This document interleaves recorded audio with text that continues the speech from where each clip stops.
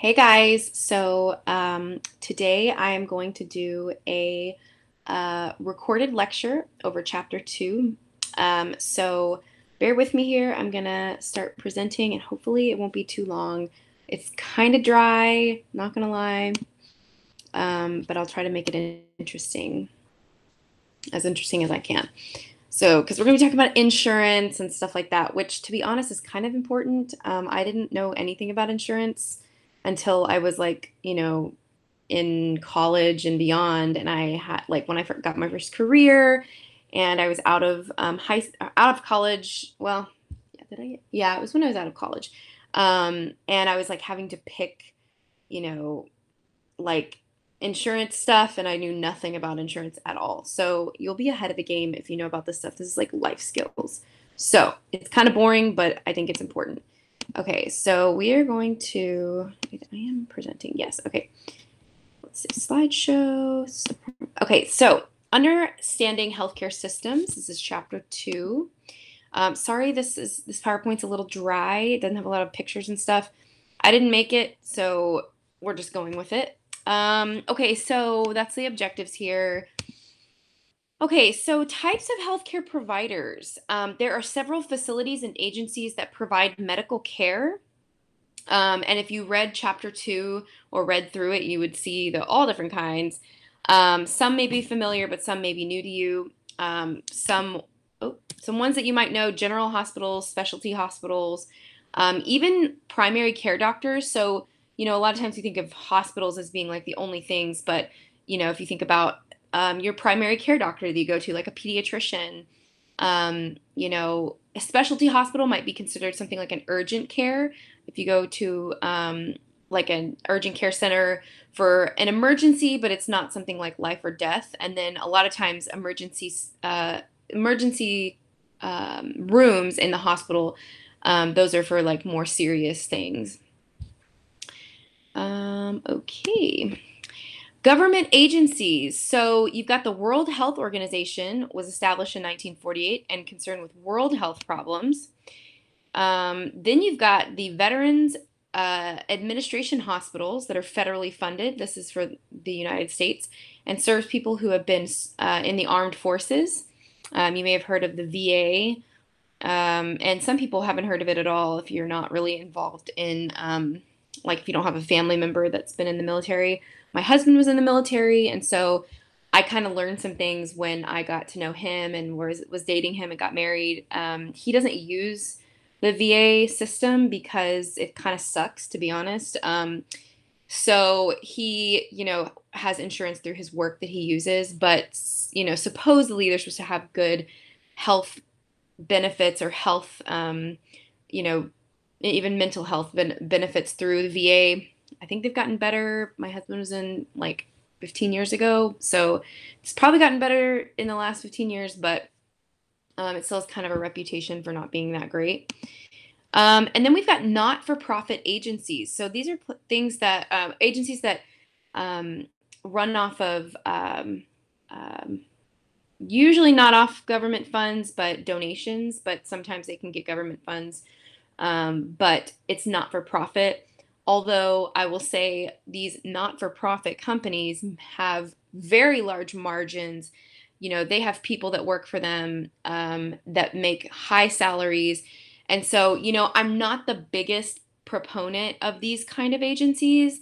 Some of them I think are kind of, um, what's the word? Like a racket, if that makes sense. Um, or like they, you know, they're, they've come out recently in recent years and said like some of these big, you know, agencies only give like 2% of their funds to actually helping, you know, victims of, you know, heart disease or diabetes or whatever it is.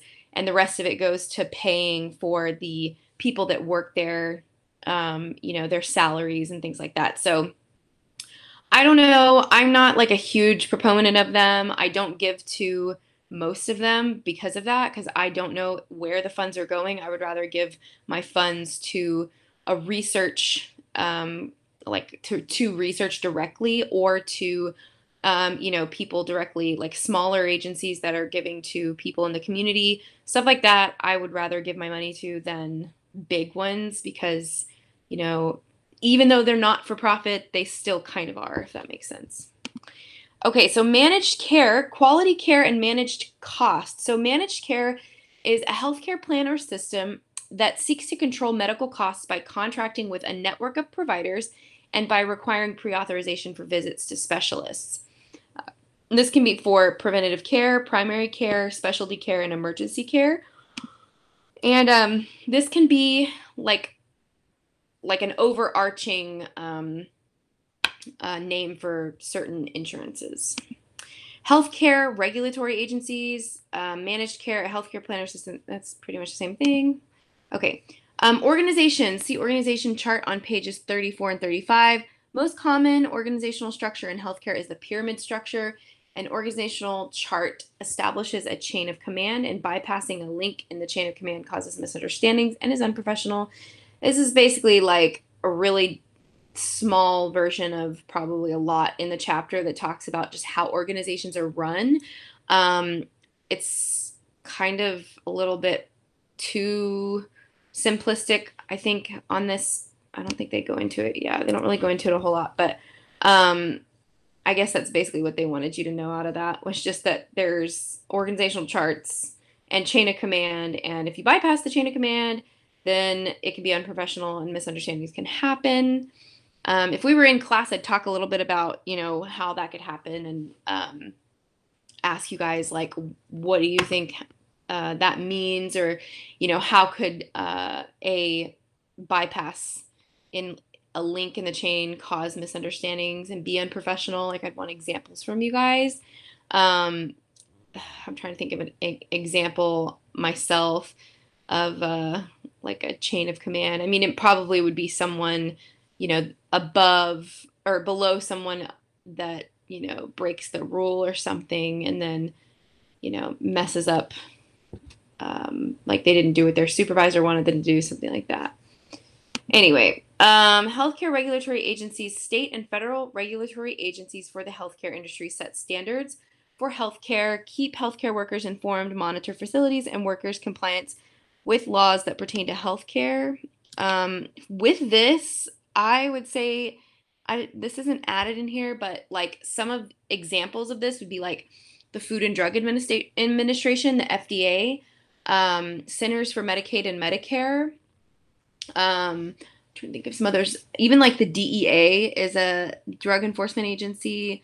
Um, all of those, we talk a lot about that in pharm tech, but a lot of those um, are regulatory agencies that are government run and they basically try to protect the health or the health of the of you know people like us especially like the fda if you think about the uh, what they do they actually regulate manufacturers so it makes sure that um, bad drugs don't come on the market like like legal drugs you know that go through and that they basically have all these manufacturing practices in place for these manufacturers that say hey you have to make good drugs um, effic- efficacious drugs which means they work effective drugs um, and you need to make sure that they're you know quality so that's why, you know, here in America, we have it pretty good with a, a, regulatory agency like that that makes sure that bad drugs aren't coming on the market that are not going to work or that, you know, are going to hurt you or something like that. Because if you go to China or somewhere like that, you don't know what's in those drugs. They may not work. Um, there's just not regulatory agencies like that in places like China. And, you know, that's why we're trying to keep China out of you know as much of as we can of our you know manufacturing practices. And it's better to bring it back home to america because um, you really can't regulate another foreign country what they send to you. You know what i mean? So um, yeah okay so quality healthcare costs cost containment what drives up the price of healthcare um, lawsuits, aging population, technological advances in the medical field, all these things continually drive up healthcare um, and make it pretty costly to go to the doctor. Um, so, health insurance or third party payers are supposed to help with that. Um, the Affordable Care Act um, or Obamacare, remember that, kind of made it more accessible for everybody to get healthcare. Um, we're also seeing, though, that it drove up healthcare costs a lot, um, which kind of sucks, but everybody can get healthcare now. So it's like a balance because basically what they wanted to push in that act was that you couldn't um, say no, like the, those big companies couldn't deny you coverage because of a pre existing condition. And let's face it, here in America, a lot of people have pre existing conditions what are pre existing conditions? Well, things like um, diabetes, uh, heart disease, you know, things like that that are pretty common in the, um, I wouldn't say elderly population because some people are, young people are getting this, these things now too. And so what happened was these um, health insurance companies were like, well, you know, now that we're having to cover all these people that, you know, are sickly, um, we're going to drive the cost up more. So, for example, um, I'll give you, oh, here's a good example of this. Okay, so my husband had really good insurance with his last job. And basically, we paid a little bit every month for our insurance. And then um, we had a deductible every year. It was like $400 that we had to meet. And then once we met that deductible, so once we paid $400 um, towards like healthcare costs if we went to the doctor or whatever, um, then they the health insurance company would pay 80% of our medical bills and then we would pay 20%. So um, it was a pretty good thing. We still paid a ton of money for having a baby because that's really expensive. Um, but it was overall a pretty good plan. So then we got on this new plan. Um, it's a newer plan in general at my husband's new job. And the deductible is uh, $4,000 per person instead of $400 per person. So if you see that difference, huge difference. And so they don't pay anything until we pay $4,000. It's really crappy insurance. Like, can you even believe like like I'm never going to spend $4,000 on medical bills pretty much I mean until I have the baby, my next my next baby. So it's going to it's like almost not even worth it to have the insurance because it's so expensive. Um, and I went to the doctor the other day and I asked him, like, why is this so expensive? And they said, well, because we're seeing this more and more. These health insurances are just going up so much in their costs because they can't stay open because they have to, you know, uh, they have to pay for all these people that have pre-existing conditions that do, you know, have constant medical care and cost them a lot of money. So that really sucks. Um, that's just an example there. Um, and then things uh, part of uh, some of these um, i guess key terms i think that were in your chapter two key terms were things like co-payments deduct deductibles co-insurance. Um, so co-payments are things that you're going to pay for out of pocket when you go to the doctor. So you're going to have like a co-pay or co-payment. So when you go in um, you know it might say well you know we're going to pay um, 80% of your of your pay, of your cost to go to the doctor today. So your out of pocket copay would be $20, right? And so then they would pay um, maybe 80% of it and pay uh, $80. So that's something like a copay. Oh, sorry, I gotta sneeze, you guys. oh, sorry. And then you've got deductibles. So a deductible is something that you have to pay um, usually upfront or before they'll start paying something. And again, it can range wildly from anywhere from maybe $400, which is what my last one was, to thousands of dollars. So, um, pretty expensive. And then uh, co insurance is the um, percentage that you're going to pay um, based on your plan. Um, and then you've got HMOs, PPOs, Medicare, Medicaid, Tri- Medicaid, TRICARE, workers' compensation. These are all third-party payers. Sorry, this this uh, slide is really confusing, but um, third-party payers are um, things like uh, uh, their insurances. So you've got HMOs, PPOs, and then you have um, government insurances, which are Medicare, Medicaid, TRICARE, okay, and then workers' compensation um, is if you get hurt on the job, your work will pay for you for all your medical bills. So HMOs are private insurances, or well, HMOs and PPOs are private insurances. These three here are going to be um, public, I would say, or um, if you qualify based on income and um, your situation, if you're a child or whatever, um, or your old children, uh, usually have Medicaid or pregnant women, and then Medicare is older people. Um, and then TRICARE is for uh, military. So these three are going to be, um, uh, they're going to be your um, uh, um, United States health care that you get through um, the government. And then again, workers' comp is through your company. And let's go to the assignment. So, um, what you're going to do, you're going to look at an insurance card, okay, and it can be yours or a family member's, or you can Google one as an example, but I'd rather you use yours so you have it right in front of you um, or family members. And you're going to create a Google Doc and answer the following questions. So, you're just basically going to go through and look at this and find the information on there.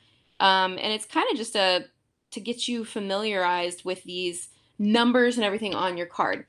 Um, so I put mine on here. I tried to um, to to X out or whatever these uh, my uh, numbers just because this is going to be on YouTube for a little bit. Um, but I don't think anyone's gonna find this information. So, um, but this is what mine looks like. Okay, so my husband works for Textron, um, and then he has United Healthcare, so we're under him. So Clayton is my husband. He is the main member, and then dependents mean the people underneath him, which is me, and then my son or our son Lincoln. Um, and then we've got a member ID number. So the member ID number is actually um, like a number specific to us. The group number is what kind of plan we chose in this company. Okay. Um, and then you have um, HSA says it says HSA here because we have a health savings account. Um, but it's I don't really know if it's through them. So, and then we have a payer ID, which is how um, if they if the doctor is looking for a um, a, a a way to get paid, they get paid through this payer ID. And then on the back of the card, you'll see some numbers. So this is for members. That's us. That's my husband and I. Um, if we have information, if we want information, we can go to we can call this number. But then what's also important is that your provider, or if you work for a provider, if you are a provider one day, like you're a doctor, nurse, whoever, and you're working with insurance benefits, they may want you to call and um, look up insurance benefits, and that's why they have this for providers. And then that's the web, the um, their physical address for medical claims. Most of the time, it's done online, but anyway. So this is just an example of a card, okay? And I think that's it. So go to today's lesson, and you guys can um, get on there and do the. Um, uh, let me get off of here real quick you can do the assignment for today, and then we're gonna have another assignment on Thursday um, with this stuff as well. So um, you will be using this in the the chapter two um, as well. Okay, you guys. Um, I hope this wasn't too boring, and I kind of brought some interesting information to it. I will talk to y'all later.